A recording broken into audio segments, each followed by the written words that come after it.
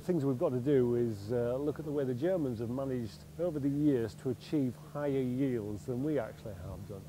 Uh, I think a lot of it is a, a, a, approach of attention to detail. Obviously starts off with uh, soil management, ensuring that these roots can get to the depths that we've seen they're capable of doing this year. And in a drought year, people are getting them down to seven foot. So your, your soil um, condition is vitally important.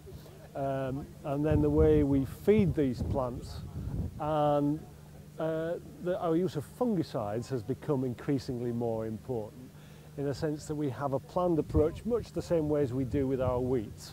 In, you know, we're looking after the crop right the way through all its growing stages rather than maybe reacting to circumstances. So it's more of a planned and a precise route than it has been in the past. First thing would be early establishment. Try and get it away as soon as you can mid-August.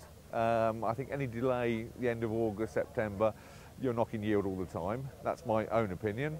Um, method of establishment, we've been, dare I mention it, establishing with a Claydon drill. Um, we do all our crops with a Claydon drill. Um, I've got no problems with it whatsoever, and I think I've had better, better establishment with that than any other method. We were previous to that on a subsoiler drill. It was okay, but it was horrendous to drive over afterwards. So everything, you just shook you to pieces if you weren't careful. Um, yeah, so so I think the, the, the main thing is, is, is good establishment and then keep on top of phoma and canker, uh, which means, unfortunately, plenty of uh, fungicide program. We, we, tend to be a three, well, three, possibly four pro, uh, uh, spray, certainly autumn, early autumn, and two, possibly three in the spring, unfortunately.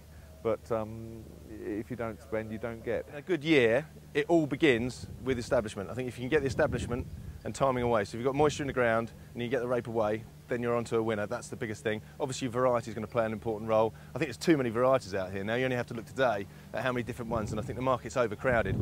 So you need to just to sort of find out what is specifically good for you. Because if you can get it through the winter and keep the pigeons under control, then that's it. I think straw off, because I think the straw, definitely we've seen improvements this year where we haven't had straw on there, so we've baled the straw. Uh, and then I think when you're coming into the spring, you've got to accept now that rape is not a cheap crop to grow. But at £400 a tonne, which is what we're looking at potentially to be at selling price, you can afford to spend more on it. So I think you're going to be spraying a lot more than we've traditionally have. You've got to keep it clean, weed free, uh, keep the nitrogen going on there, and lots of bitter salts. As much bitter salts as you can get on.